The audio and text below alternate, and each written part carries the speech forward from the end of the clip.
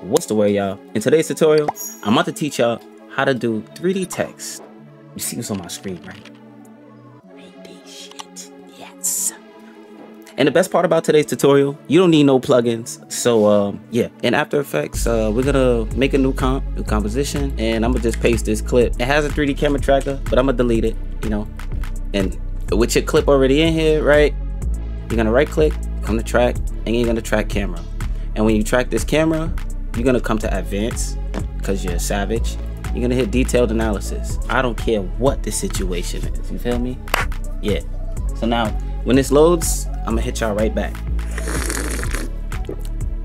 Refreshing. Now that your uh, your camera track is done, if you don't see them, just come over here to this little uh these five boxes over here. Click the middle box, and when you click your clip, and you click the 3D camera tracker and the uh, effects controls, you'll see your points. So as you can see, you got some points in here, right?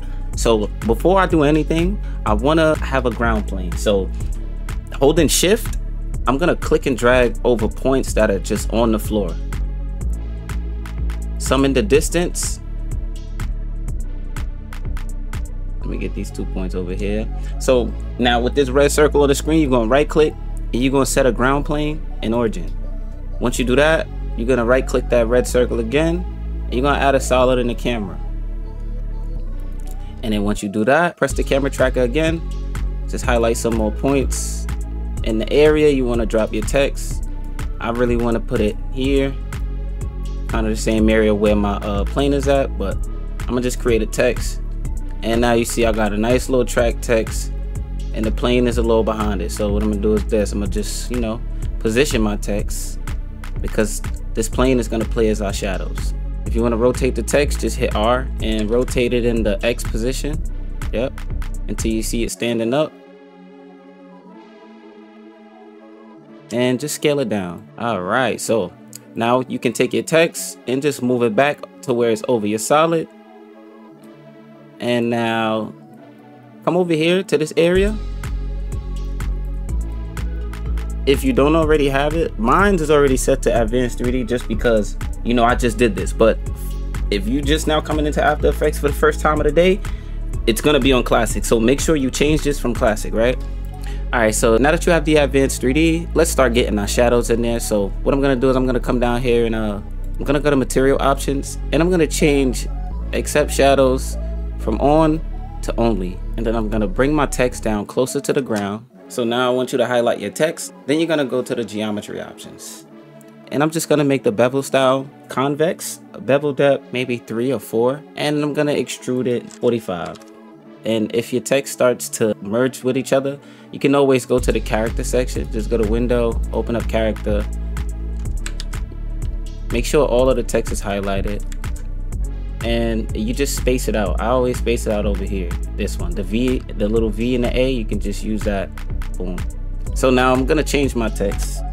And you see I'm walking, so I don't want it to move in. I don't want the camera to move in, into my text. So I'm just gonna move it over a little bit so it kind of goes through it. Let me just move that over. And I believe, hold on. All right, so now that we got the text here, right? So now let's deal with the material. Let's open up the text and let's go down to the material options and we're gonna go to uh, specular shininess. We're gonna change that from five percent to hundred percent. Facts, cause we outside, like we, we outside. We we not inside. You feel what I'm saying? There's no reason for us to be looking like we inside. So now you wanna come to the text settings as well. And when you come to the text settings, you don't have to hit the drop down. Just hit animate. And on the animate, you wanna hit front, color, and hit RGB. RGB, and then now you get the option to change the color. Go change the color to the color you want if you don't like how your bevel looks, you just highlight all your text. Just go over to the text section and change the color over there. I made sure I chose gray so it can give me like a shiny look when I add my environment. Also, let me move this, let me rotate this a little bit too.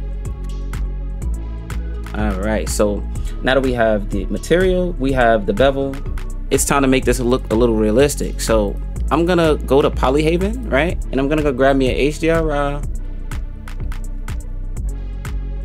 And when you come to Polyhaven, you just you either sign up, sign in. It's free. You don't have to pay. You see, I'm not even logged in, but I'm still gonna come here and I'm just gonna search for something to use. grab a texture from here and open it in your project, right? So we're gonna go to File, Import, File, and just get the EXR, it's 4K. And I'm gonna put it at the bottom of my project and just turn it off. So now we can go to Layer and we're gonna go to New and we're gonna add a light. And this light that we're gonna add, we're gonna change the light type from spot to environment. Cast shadows, check that box, and then press OK. So now we got a shadow in the scene. And to get the reflections from the HDRI onto your text, just come to the light options and make that layer down there, layer six, which is the HDRI. Boom. If you want the HDRI to like move, just come to the transform and the environment light and play with the positions. Feel me? You make two keyframes at the beginning of your timeline and then come to the middle and just change the values a little bit. Now I'm gonna take that keyframe and I'm gonna bring it to the end of my timeline.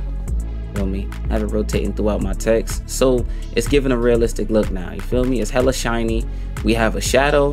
You know what I'm saying? Without any third-party plugins. From here, you can really freestyle. As you can see, right now I'm animating all of my characters like one by one. I had used a third-party plugin and um, I'm not gonna teach you guys that about that in this tutorial because I'm gonna give you guys another tutorial on text but this time it's to be tracking with the subject and so on. But yeah, brothers, after you do some animations, you add some more lights, and you also add a color correction to your footage. If you guys know how to work in the ACES color space, it's, this is 10 times easier because then you'll be able to render this 3D text out and have it nice and raw, and then you can color match everything at one time. You know what I'm saying? But that's all for later tutorials. I really just wanted to show y'all that in 2025, if you really know how to use After Effects, you really don't have to spend any money on using Element anymore. Me, I've been using Blender for like the last year or so, so I haven't even touched Element in such a long time. So to even come back and figure out that I don't even need Element anymore, it makes me want to learn more about this. So definitely stay tuned. I'm gonna do more tutorials on specifically this little feature that they have in AE because it's not the best, but for text and titling, I feel like this shit is a game changer. So yeah. All right, my brother. So yo, if y'all enjoyed this tutorial, drop a like, comment, subscribe, and I'm gonna be back at y'all with another one. J baby.